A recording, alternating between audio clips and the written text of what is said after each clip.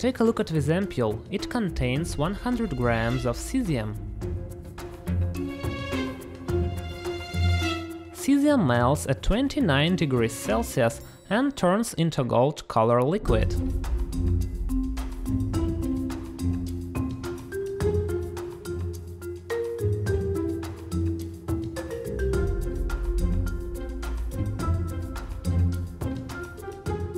Actually, pure cesium does not wet out glass.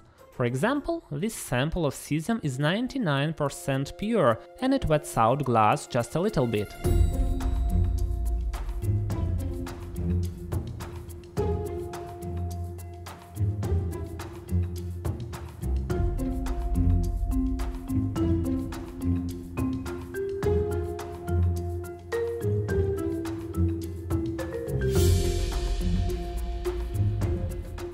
Also, cesium this pure does not form any sort of beautiful crystals when it hardens.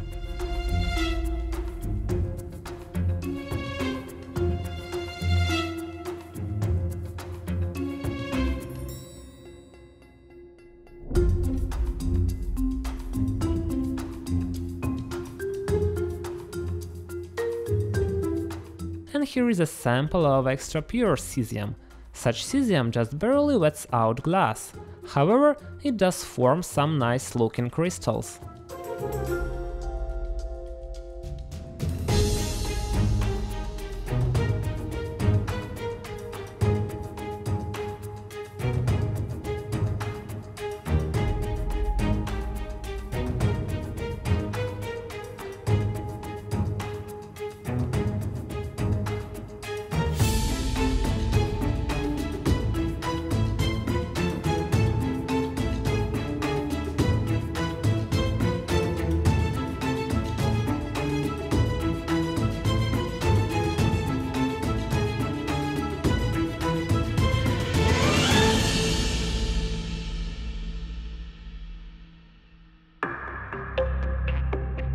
Now let's see what happens when I break an ampule of cesium.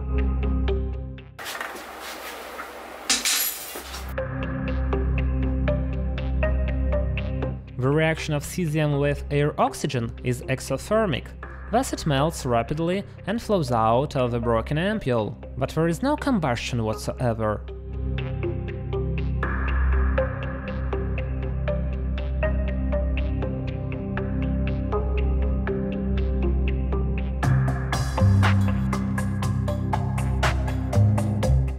Of you have heard that cesium is the most reactive metal, which instantly combusts in air. But that is not the case. Instant combustion of cesium in air is far from common. In fact, it may not combust at all. Instead, it may just oxidize quickly, forming cesium peroxide and superoxide. Cesium darkens fast. This dark layer consists mostly of cesium superoxide, which is orange in its pure state.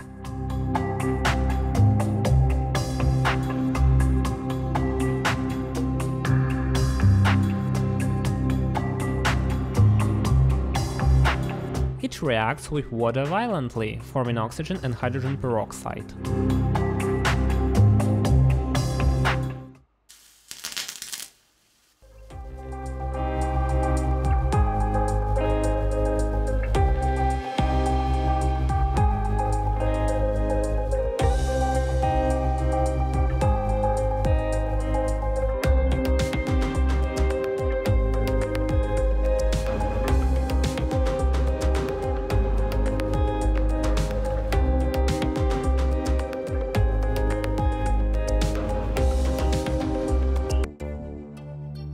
Take a look at these ampules. They are all made of strong glass and provided with a special breakable glass seal.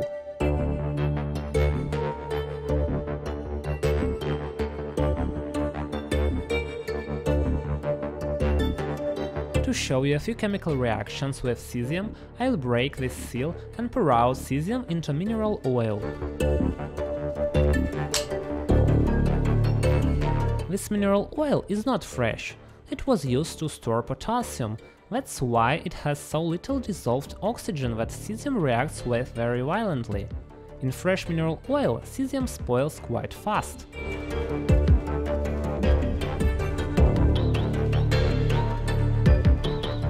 So let's start with the reaction of a small piece of cesium and water.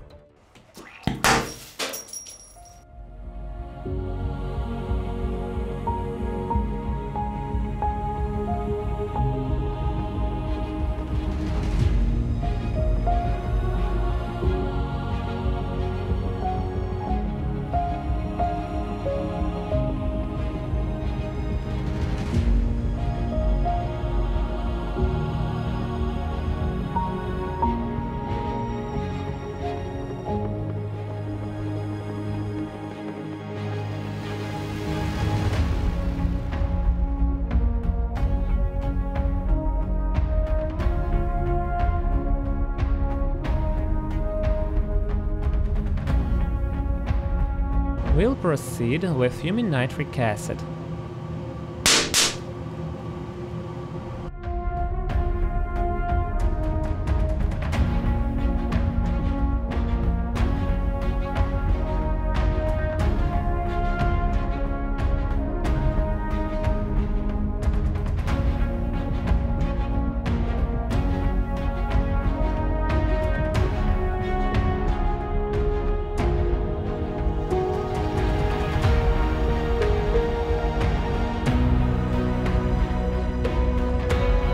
Here is another fuming acid, fluorosulfuric acid.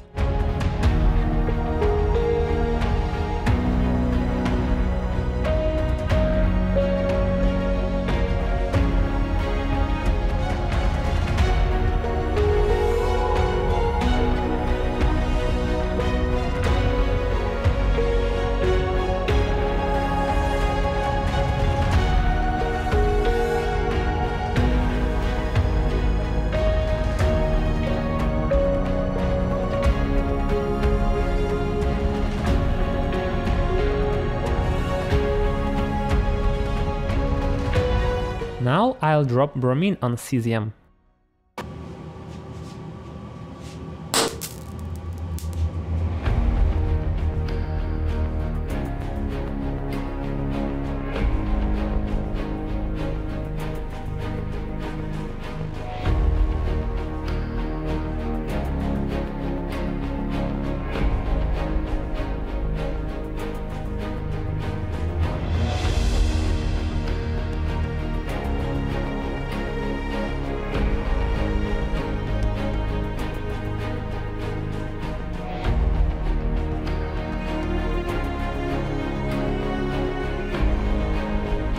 Here I am dropping iodine monochloride on cesium.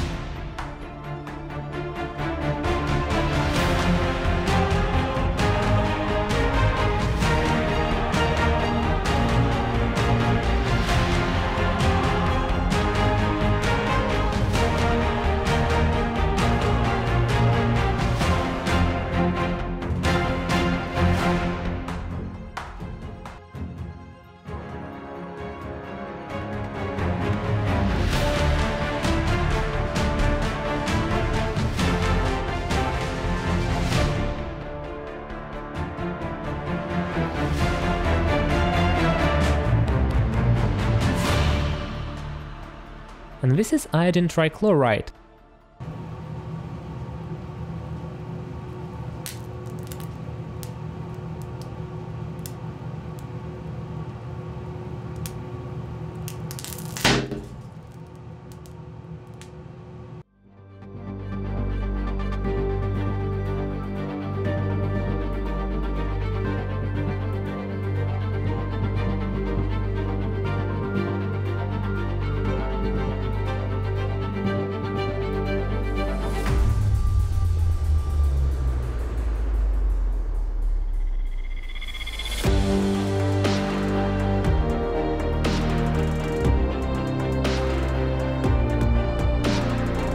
This reaction we'll try to reduce iodine from iodine monochloride using the solution of cesium in liquid ammonia.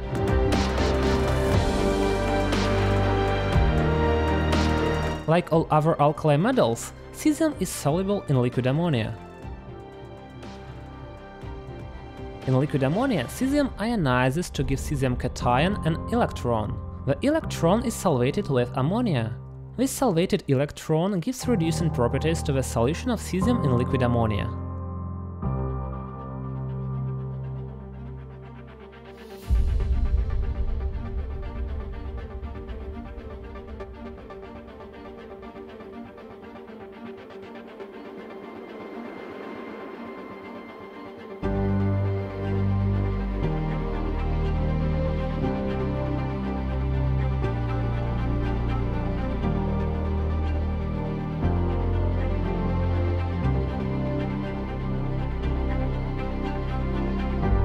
Now let's add this solution to iodine monochloride and see what happens.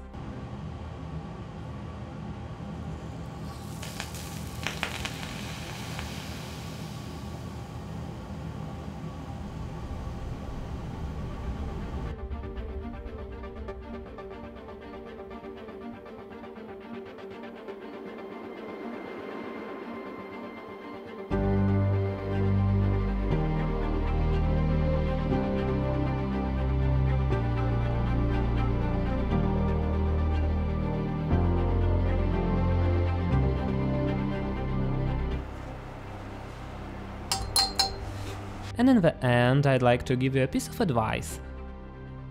Don't store cesium in chloroform, ever.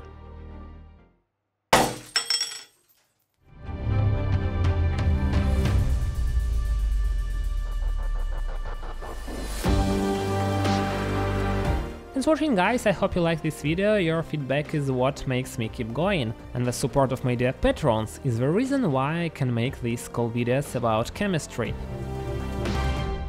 So you might as well join these awesome people if you like. Thank you for staying with me all this time. See you in the next video.